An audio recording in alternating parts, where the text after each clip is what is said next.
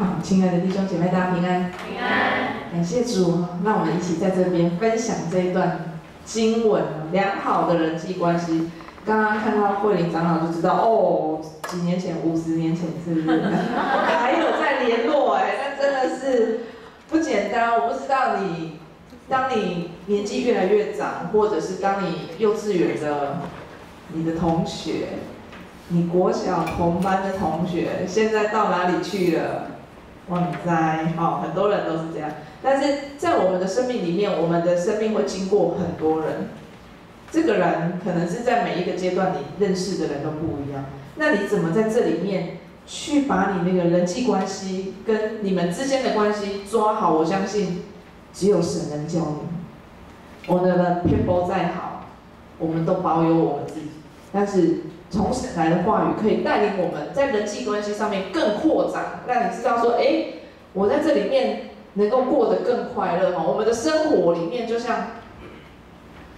这个图，它其实是一个交交联的哦，就是每一个人其实都跟每一个人有关系。当你去看亲戚的时候，你会发现，哦，这样应该前几天全台湾都是我认识的人，他是我的阿伯，他是我的舅公，他是我的谁谁谁谁谁，哦，好远哦，牵到很远的时候，嗯，我相信这提醒我们，我们的人哦都是连在，都会有特别的关系，在我们的眼泪里面。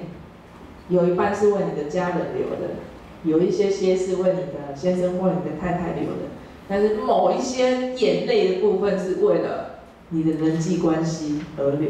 我相信在我们的人际关系里面，你曾经因为他不理你，或者是他误会你，或者是你们之间有什么芥蒂，让你觉得哦，真是太苦了，回家就怎样，躲在房间里面偷偷流眼泪。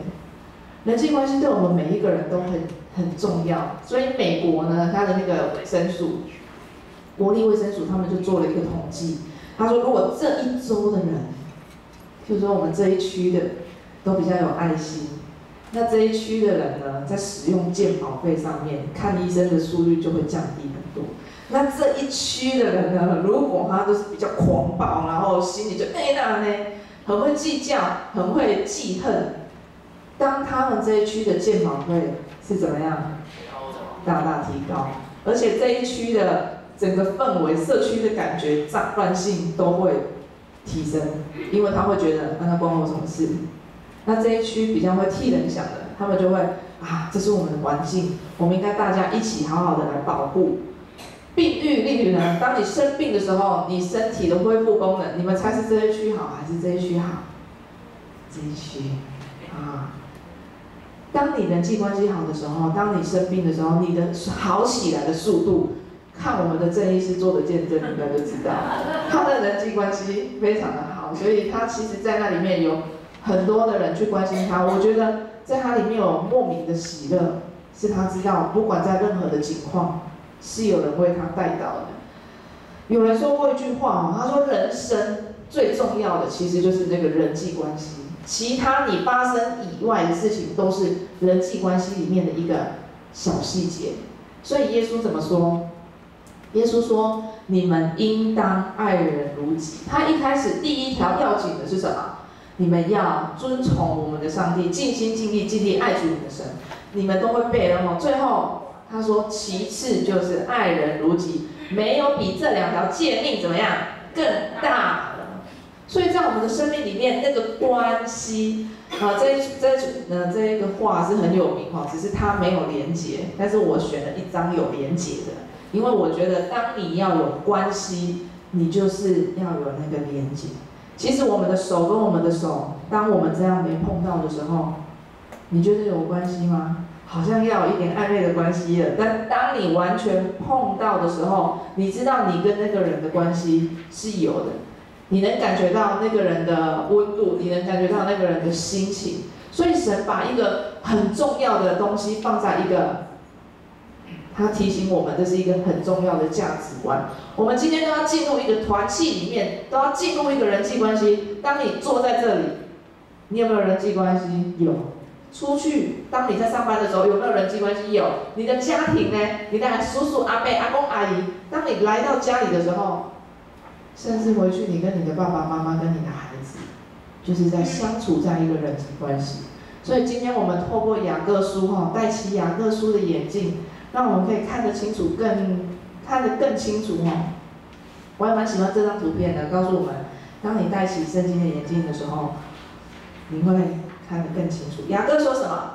谁是有智慧的呢？你们当中谁是有智慧？有读书，地位高，出国留学，我很会赚钱，老板呢？然后呢，我很会做一些事情，我很厉害。雅各说。谁是有见识的，就当在他的温柔上显出他的善行来。所以你们是有智慧、有见识的吗？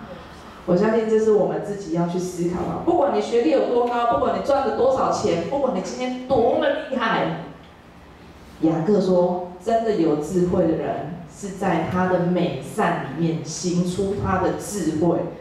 所以呢，他说了几句话。他说：“呃，十四节，我们一起来念。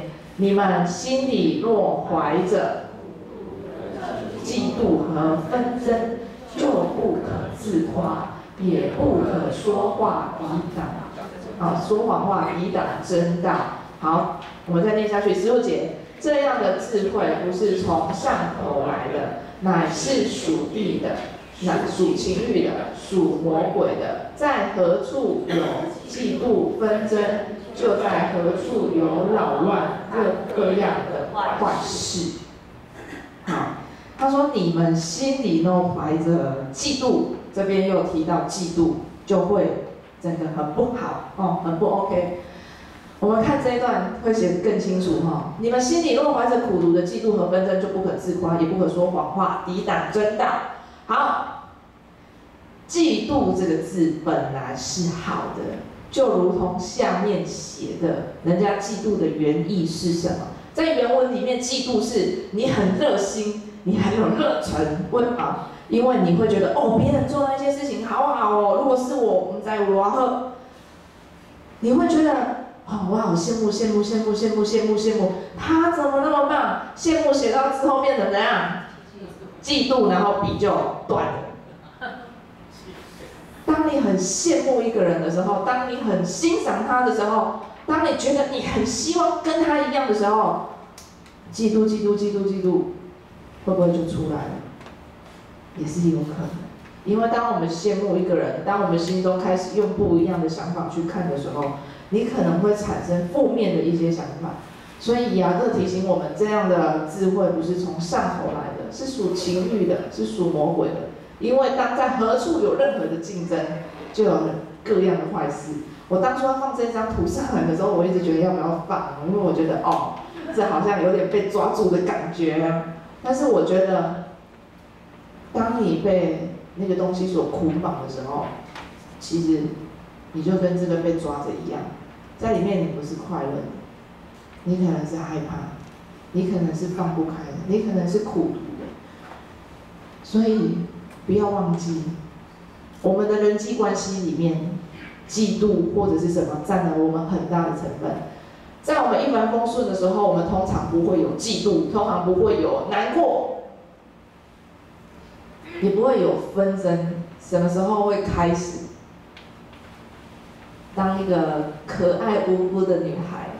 出现在两个男士的中间，两个男士为了她就觉得哦，这看起来好无辜哦，这女生呢真的是我要去给她秀秀，所以呢就对她有心动了一点，我想去追她。可是当你发现啊，我的同事也在追她哎，好，那我们就来一决高下，两个人就怎么样？我们来比一下嘛。可是呢，你觉得有可能真的很努力的君子之争吗？再来，什么时候会有嫉妒，会有纷争？这个图，所有的人都在抢这个东西。当一个官位，当一个座位，当一个很高的身份，只有一个人的时候，每个人都想去争的时候，你的心里就会有纷争，你的心里就会有嫉妒跑出来。好，有人说啊，我都不在这两个里面，那没关系，你总会看电视吧？哈，当你看电视的时候，你会怎么样？哦，你看那个人，我就跟他，我就那时候就说应该要怎么做，他就是怎样怎样怎样怎样。你看那个长官，他就是怎样怎样，那个我来做一定怎样怎样怎样。当你坐在电视机前面一直指责，觉得我很正义的时候，亲爱的弟兄姐妹，电视机里面的人做的，你敢说你自己真的没有做过？有时候我们只是忘了，有时候我们只是没有仔细安静下来，自己去思考。我在我的生命里面，我所有的特质是什么？所以我觉得杨哥今天说的很好，他让我们每一个人都去思考，在你的生命里面，你有没有这些东西？当你一直在指责别人，觉得自己很正义的时候，其实你仔细去思考，你真的有这样吗？当你小时候喜欢的男生被别人追走的时候，你看旁边那个女孩子脸有多臭？当你想追一个女生，却看到你的同学也牵着她的手的时候，你就会说她是来阴的。当升官的时候没有升到你，你还记得你那时候心里有多嫉妒、多苦？你说他表现明明就比我不好，他还是怎样靠背景，对不对？一定是有人给他当靠山，一定是透过什么手段，一定是怎么样怎么样。当你这样想的时候，这两张图可以显现出我们心里那个原本可能放在我们里面，只是我们没有想过。所以有些人会说，反正他都做初一了，我做一点十五应该没关系。我们很容易就把自己那个内心的东西又把它掏出来，只是偶尔我们觉得好啊，反正我就坐在电视机前面看啊，我又没怎样。其实。你的内心里面，当你看着报纸指责的时候，当你看着电视指责的时候，我相信我们冷静下来去想想，这些错我们会不会犯？这些事情会不会曾经影响我们？所以雅各书其实在我们今天读的这一章，我们之前前部分有讲过，就是口舌的部分。那今天是讲它的后半段，但是三章第一节就告诉我们。啊，字都有点卡到啊。他说：“我的弟兄们，不要多人做师傅，因为晓得要做更重的审判。”当我们觉得自己很正义的时候，我相信牙哥提醒我们，你要更多的去思考，因为当我们去争夺的时候，那个苦读的心有时候已经会进入我们。我们觉得我们讲的好像是真的，我说的都是真的话，可是其实你让很多人都受伤了。所以雅各给我们一个关键，哦，这就是你去争夺之后你会怎么累。雅各给我们一个关键，他说：“使人和平的是怎么样？用和平所栽种的异果。”我很喜欢这一段话，所以把它放在今天的这段情绪。你看他种了一个什么？种了一个小树。人跟人之间的关系是互动的。今天我放在你的身上是什么？有可能你长出来的就是什么？我回馈你的是什么？有可能你回馈我的东西也是什么？所以当你要怎么拥有好的人际关系，就算你再怎么欺负你的同学，他也不会生气。就是你要待人有智慧，这个智慧简单吗？嗯，我觉得不太简单。但是雅各有教我们。什么是好的智慧？他说智慧是什么？那我们一起念：智慧就是纯洁、和平、谦和、友善，充满着仁慈与善果，没有偏私与虚伪。好，当你念到这里的时候，你觉得你做到里面几点？纯洁、和平、谦和、友善，充满仁慈与善果，没有偏见与虚伪。这是他提醒我们，当你在人际关系里面非常重要的事情。回去就把这几件事情背在你的头脑里面。你要做的时候就想说：啊，我很纯洁吗？想骂人的时候就想我很和平吗？有偏见的时候就说：哎，我对他有怎么样吗？雅各提醒我们，最重要的第一点是什么？纯洁。纯洁卫生纸吗？不是。但是希望你可以跟他一样白。纯洁是什么意思？就是当你是一个被圣灵更新的人。这个纯洁，它其实跟被圣灵更新的意思，在原文里面是同样的。当你被圣灵更新以后，我相信你可以离开很多的谎话，跟很多的说出来不真实的话。这张图呢，是一个小孩面对他爸爸，嗯，可能他妈妈，他把东西打破了，他说谁？他弟弟。你觉得有可能是他弟弟吗？他弟弟还在地上爬，他只是想快点把那个东西丢给别人，所以他就说了一个谎。有一个研究，他说百分之九十一的人会对平常无关紧要的事情说谎，那百分之八十六的人会对自己的父母说谎，百分之七十五的，所以你的朋友会对你说谎的几率也蛮高的，百分之七十三的人会跟亲人说谎。百分之六十九会跟配偶说谎，所以十句话里面有七句。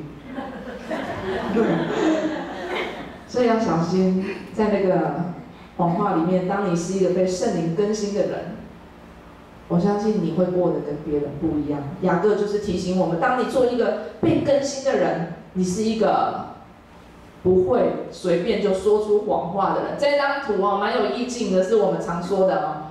人家会说你到哪里了？他跟他说我快到了，其实还要怎样？半小时。有时候真的人家打给我们的时候，就不小心就很想赶快解决，他就我快到了，我快到了。有时候我们在说谎里面就莫名其妙的就出来，所以以前我们都读过了《狼来了》这个故事，提醒我们，亲爱的，从小幼稚园开始，老师就教我们不要说谎。一直到现在，我觉得我们可能要在这里面有很大的突破，是当圣灵在我们的心里面的时候，有时候我们会知道我们应该说出什么样的话。有人去研究哦，对说谎的人做了一份评比，他说：“呃，请你们写出为什么你们会说谎。你知道人家说的最最多的是什么吗？”有些人真的说谎的时候，人家去问他，他说不，这件事情我没有说谎。另外一边会回答，我说谎只是怎么样，出于善意，我只是想要帮助他，只是想要帮助说谎。但是当你说谎的时候，我们都是出于善意，可是其实对你整个身心来讲是不好的。当你说谎的时候，你的循环系统会变差。当你说谎的时候，你的血压全部都会升高，而且当你说谎的时候被拆穿，我相信你真的想找洞挖进去，但是你也没办法。这对你来说，跟对对方来说，都是一个很大的伤害。所以雅各提醒我们，在这里面要小心，不要去过一个谎言生活，而是被圣灵更新的生活。第二个，他说你们要有和平，要有温柔。要有良顺哦，柔顺这三个字的意思，就是告诉我们要有一颗宽阔的心，而且提醒我们温柔怎么表现。温柔只有一个办法，用一个东，大概用两个东西表现。当然，最大的一个东西，就是我觉得是雅各前半部谈的，他是告诉我们你在说话的时候。要特别的小心。我们知道，当你有时候很急，你会想说一些话，但是当你没有坐下来好好的思考的时候，你会说错话。保罗是一个很聪明的人，我觉得他人际关系应该不错。他每次写信的时候，他都先赞美人家。他说：“我每逢想念你们的时候，我就感谢我的神。”好。保罗这么会赞美，你们会赞美吗？这是一碗酒吧青州小菜的青州，我不知道大家有没有去吃过，但是通常都是小小碗的。有一个人去吃的时候呢，端上来，老板娘端上来，他就跟老板娘说：“哎，你们这个一碗卖二十块，你只给我那么小碗，我怎么吃得完？呃，怎么吃得吃得饱？”那个老板跟他说。你不知道我们这个重要成本的吗？好，就这样给他吃。另外一个人来啊，坐下去吃完，哦，老板的端来给他的时候，他都没有说话，就这样端来吃完，跑去跟老板说什么？哎，你们这个粥怎么煮的啊？好好吃哦，我一下下就吃完了。你知道老板怎么样吗？免费送他再一碗。当你的说话方式，当你对人用什么样的方式，其实我相信别人很清楚就能感觉到，你今天对我说话对我的感觉是什么。我相信在我们每一个人的人际关系中，我们都会遇到这一点，非常重要。盼望我们用雅各教导我们，用温柔的、用和平的态度去面对你身边所有的一切。第三个，他说什么？爱是有恩慈，有恩慈就是你会设身处地去跟人，就去帮人家替人家着想。你知道替人家着想有一件很很。可比喻中很容易就做得到。我不知道你们钓不钓虾，有人喜欢钓虾吗？我以前有一阵子超爱钓虾的。那也有可能看过人家钓鱼，对不对？虾子最喜欢吃什么？大概就是小虾米啊，或者是一些比较新的东西。鱼最是喜欢吃什么？鱼最喜欢吃什么虫？你要把它钓上来，你一定要想说它喜欢吃什么，你才能把它钓上来。所以。爱是有恩慈的提醒我们，是你要设身处地的为别人着想。鱼喜欢吃什么？鱼喜欢吃小红虫。虾子喜欢吃什么？虾子喜欢吃这个小虾米。所以你一定要设身处地的为他着想，你才能把他钓回家。同样的，今天当你要建立好的人际关系的时候，你要设身处地的为那个人着想，想说，哎，他喜欢什么？他在这里面他 O 不 OK？你有没有同理那一个人哦？这是一个人钓下的钓鱼的样子。你要钓很多，就一定要设身处地的为那些鱼着想。所以，如果你要有很好的人际关系，我相信你也要在这方面有多一点努力。再来，先打要打动人心，要先怎样？同理别人的感觉。我觉得在这里我们就是很不简单，要同理一个人的感觉是很困难，特别是当我们在很生气的时候，或者是我们不知道怎么办的时候，要同理真的很困难哦。但是亲爱的弟兄姐妹，当你不同理的时候，你就会先开始批评。当你真的没有同理那个人，你就会开始脾气暴躁，你会觉得你怎么不行？你为什么说这些话？当你没有同理你朋友，当你没有同理你另外，呃，另外一半的感觉，或者是甚至你小孩的感觉的时候，对他其实是一种伤害。有一个牧师呢，他去监狱布道，他问所有底下的人说：“你们今天怎么会坐在这里？从小你的妈妈说你长大一定会被关的人，请举手。”你知道，那个牧师回来说。大概有百分之七十的人都举手。对他妈妈从小就跟他说：“阿丽亚给我乖，丽亚你很乖。”他妈妈从小就是这样。所以，当我们在人际关系里面，我觉得家庭是很大的影响性。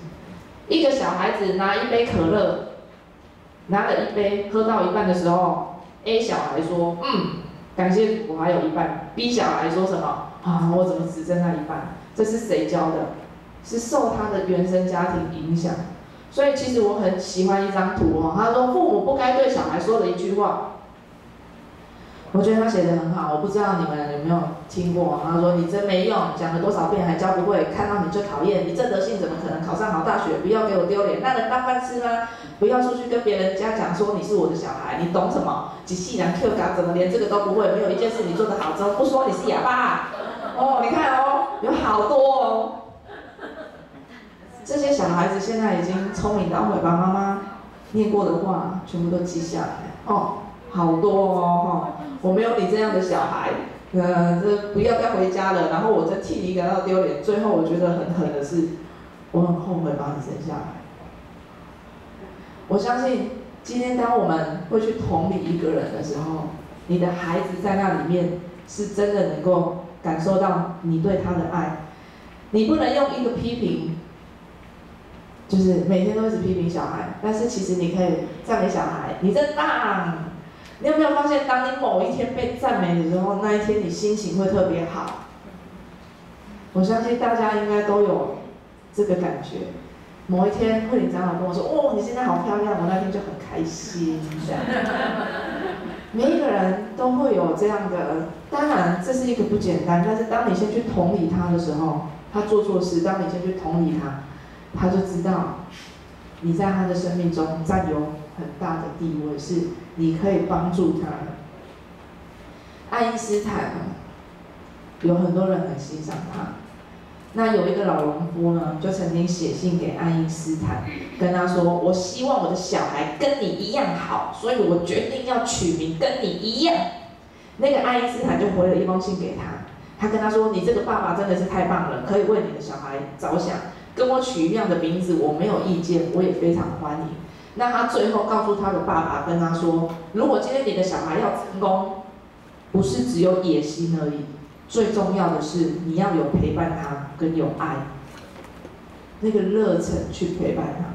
这个农夫很高兴的就送了一个一袋的马铃薯给他。爱因斯坦用一个很同理的方式，或许那个农夫跟他的身份差很多，他会回信吗？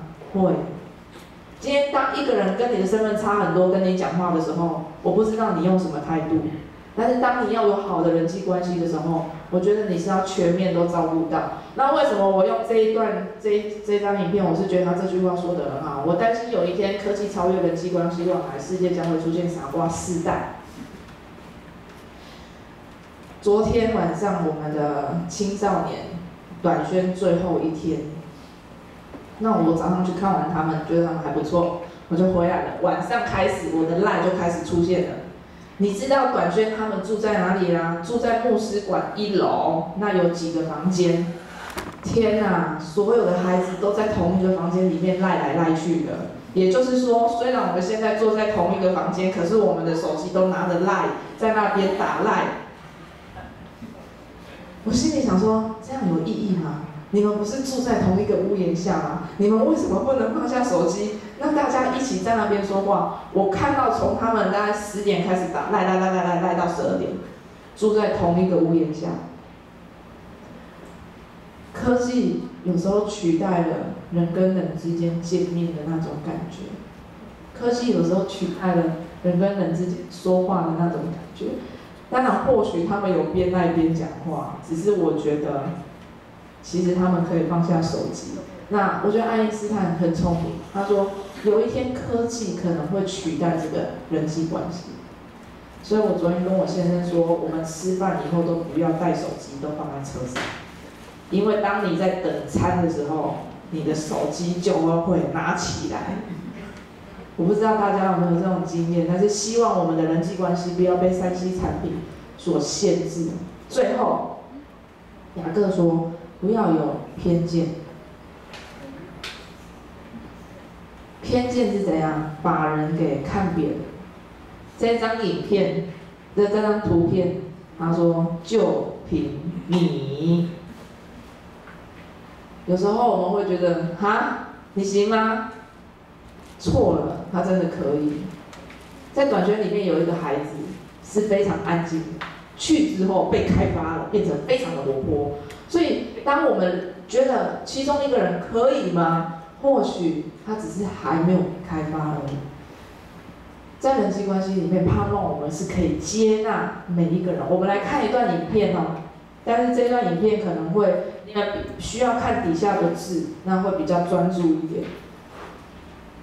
呃，帮我关一下后面，就是全部的灯可能都要关起来。好。他说他邀了六个不同的人，在这样没有灯光底下看彼此。好，播放。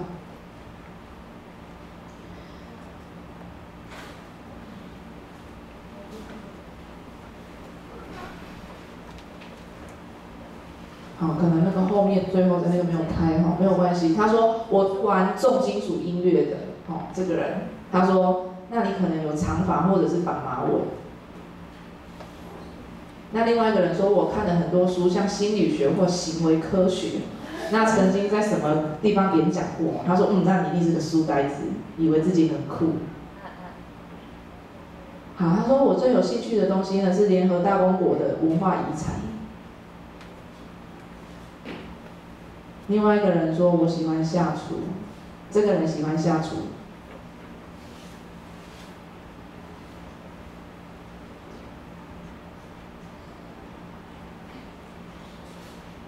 好，再来有一个人说他是极限运动员，他说他最喜欢跳伞。好，当他们把灯打开的时候，他们看到彼此。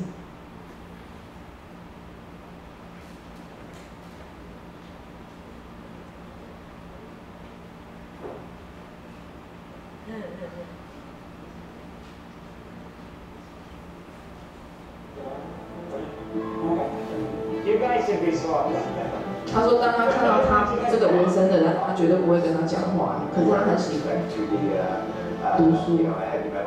I should have these tattoos, not you. شوف بالنسبه لي دراسه دراسه الصوره انه هو يكون عربي كثير That's how you know. When I saw Garrett on the wheelchair, I was completely taken back. Hey man, come on. 好，接着他们从椅子下拿出东西。这个坐轮椅的，他是爱极限运动的人。 ما مكتوب عليه شيء. ما مكتوب عليه كوكا And the minute I turned around, I saw that الليبلز أو الشعار أو ال- أو المغلف أو التصميم هو بس للعلم مش للناس ترى واضح. يعني المفروض ما تحكم على واحد بالشكل الشخص مو بلازم يعني ننتقده بشكله لكن أول شيء نتعرف عليه عقب نقدر نقول كيف شخص. it, it changes your mind, the perspective you're on. 好，它是一个可口可乐的广告，但是我觉得他做的还不错。好，可口可乐最后也是真的。好，在这个影片里面，他们邀请了所有每一个人，或许我们这些人作者也会发生同样的结果。他们邀请所有的人在电灯暗暗的底下说他们做什么的。全身纹身的人，他其实是个爱读书的人；穿的很斯文的人，他是干嘛？玩重金属音乐的。很像阿拉伯的那个人喜欢下厨，坐轮椅的人喜欢干嘛？喜欢极限运动。当他们打开的时候，他们发现，我们都只用自己最当初的观点在设定你们每一个人。我们都想玩重金属的，应该全身纹身，绑一个大马尾。我们都想爱读书的人一定是个书呆子，想不到他是全身纹身的人。所以最后他拿出那瓶可口可乐的时候，可口可乐上面写了一句话，他说标签是用在哪里？商品上面，不是用在人身上。今天不要偏见，我相信对我们来说是一个很不简单的。其实有些人都说偏见是一件坏事，但是有科学家就去研究，他说偏见其实对人不一定是坏事。从小的小孩子开始，他就有偏见的，因为他必须去选择这个对他是好，那个对他是坏，那个就是一个偏见。但是当你把偏见贴在一个人身上，而且完全的看扁他的时候，那你就是误用了那一个偏见。所以科学家提醒我们，偏见是对我们理性而言很好的一个选择，但是不是滥用在每一个人的身上上面。我相信雅各提醒我们，不要去对任何事情有偏见，对我们的人际关系，对我们所有的人跟人之间的相处是好的。有些基督徒老板不太喜欢用基督徒的员工，为什么？因为基督徒的员工会想说，哎，你是基督徒的老板，你应该对我特别好，有没有？那有些基督徒的员工也不太喜欢去基督徒的老板上班，因为他觉得，哦，我每天都必须要很假。所以，在这个雅各的教导里面，他说没有偏见，也没有假冒。最后，我想我用一个。嗯，这是一个先生送一个太太花，那这个太太呢，回去跟他先生说，哎、为什么呢？结婚之前你常常送我花，结婚之后我就都没有收到了。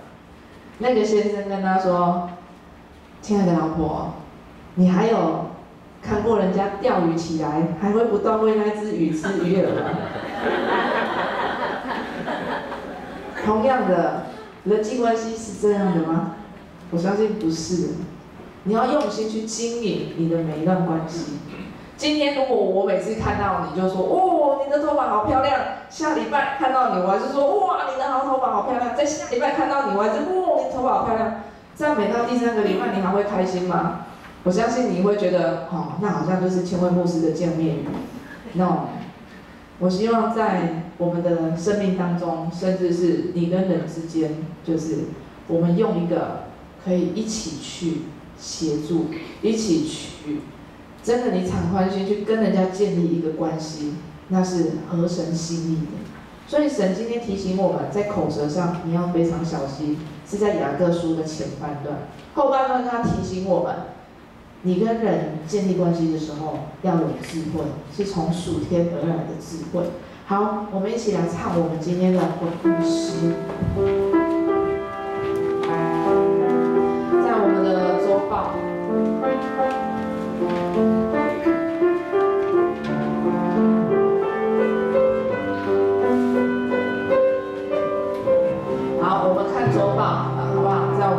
到十二页。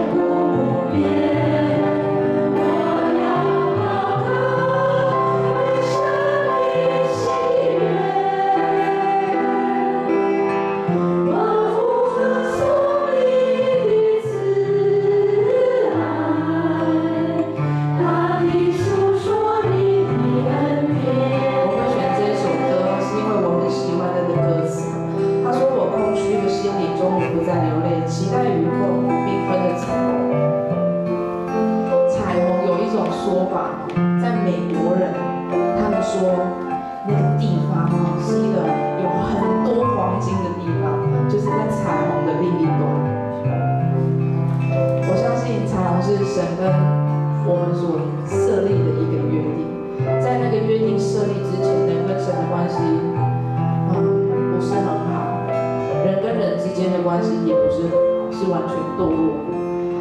那盼望在彩虹里面，让我们看见神跟我们之间的约定是那么的深。那你跟人之间的约定是什么？我这么好，这么深吗。神当我们看见彩虹的时候。让一切又重新开始。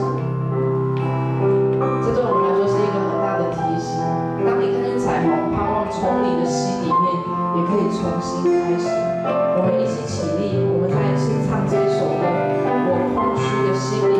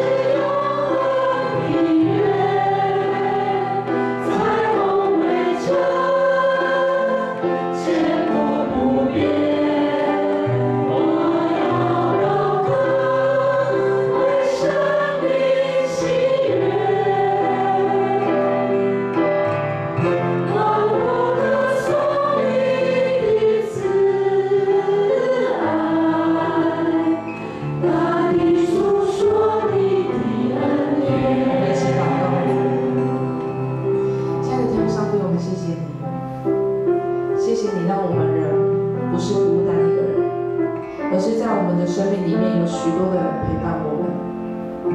在我们的苦难的时候，上帝你透过许多人为我们祷告；在我们难过的时候，上帝你透过许多人来鼓励我们。但是主耶稣，我们知道，在人跟人之间的关系，是我们愿意付出是我们愿意用神从神来那个爱、那个和平，当我们给更多人的时候，神啊，我们就每一个人都领受你那个福分，让我们空虚的心里再一次被神的爱给填满。主耶稣，盼望你祝福我们每一位弟兄姐妹，让我们在人际关系里面，我们是更宽阔、更广阔的。当我们在遇见人的时候，我们就神就给我们祝福，让我们跟那个人的关系越来越连接，让我们建